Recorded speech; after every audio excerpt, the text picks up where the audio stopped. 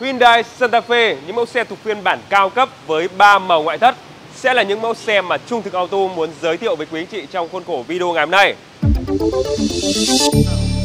Xin được kính chào quý anh chị đã quay trở lại với Trung Thực Auto xe gầm cao và em là Sơn Tuấn, thành viên của Trung Thực Auto chi nhánh Hà Nội.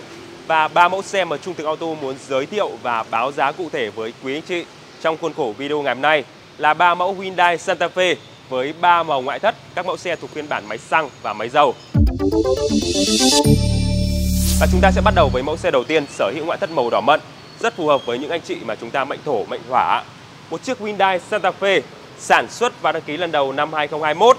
Xe sử dụng động cơ dầu 2.2, dẫn động hai cầu và số tự động thuộc phiên bản Premium, phiên bản cao cấp nhất của dòng Hyundai Santa Fe.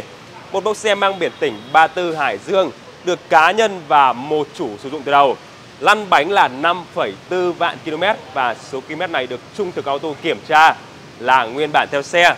Một mẫu xe với cấu hình 7 chỗ, sở hữu ngoại thất màu đỏ mận, nội thất được phối hai tông màu nâu và đen thuộc phiên bản cao cấp nhất ạ.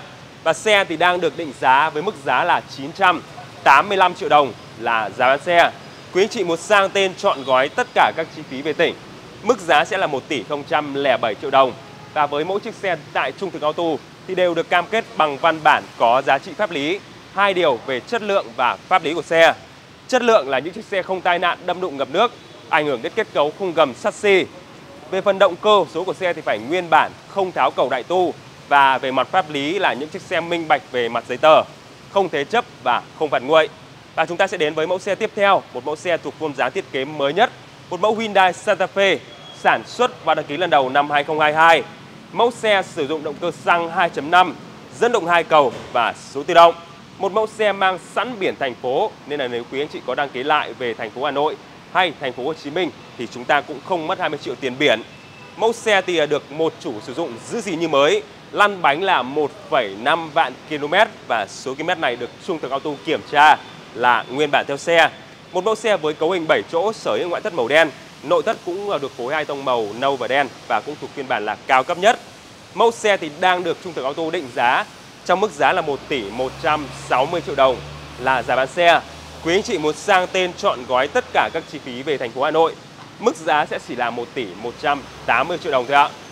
Chúng ta sẽ đến với mẫu xe cuối cùng, một mẫu xe thuộc vùng giá thiết kế cũ nhà Hyundai Santa Fe. Một mẫu xe sản xuất và đăng ký lần đầu năm 2018, mẫu xe sử dụng động cơ dầu 2.2, dẫn động hai cầu và số tự động và cũng thuộc phiên bản cao cấp nhất. Xe thì mang biển tỉnh, được cá nhân sử dụng giữ gìn như mới. Lăn bánh là 6,8 vạn km và số km này cũng được Trung thực Auto kiểm tra là nguyên bản theo xe. Một mẫu xe thì với cấu hình 7 chỗ sở hữu ngoại thất màu trắng, nội thất màu kem.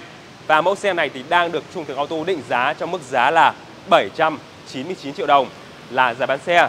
Quý anh chị muốn sang tên chọn gói tất cả các chi phí về tỉnh, mức giá sẽ là 816 triệu đồng ạ. Và vừa rồi thì em đã giới thiệu với anh chị về ba mẫu Hyundai Santa Fe đang có mặt tại showroom của Trung Thực Auto. Và ngoài ra thì Trung Thực Auto vẫn còn rất nhiều những mẫu xe gầm cao đã qua sử dụng khác. Vậy anh chị đang quan tâm và tìm kiếm cho mình một mẫu xe gầm cao sản xuất năm nào, phiên bản nào? Như chiếc Honda HR-V phiên bản RS màu đỏ cực đẹp này ạ. Thì anh chị hãy đừng ngần ngại nhấc máy lên và gọi điện đến số điện thoại hotline của Trung Thực Auto đã được ghi ở trên màn hình là 0975 79 và từ quý 2 để các bạn tư vấn bán hàng có thể gửi cho anh chị thông tin, cũng như là hình ảnh thực tế của chiếc xe mà anh chị đang quan tâm ạ. Và em cảm ơn anh chị đã xem đến ờ, hết video, và hẹn gặp lại anh chị ở những video báo giá tiếp theo.